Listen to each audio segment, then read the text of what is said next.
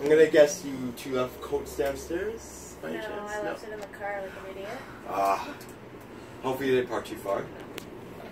Giving it one. I guess at that convention center.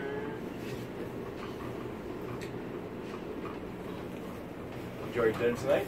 Delicious. Yeah. Thank you.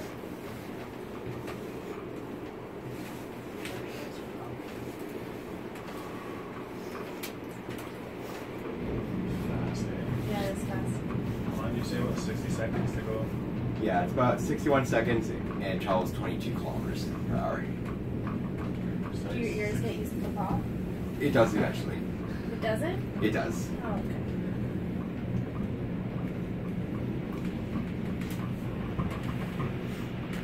Makes the elevator job a lot more easier. Yeah.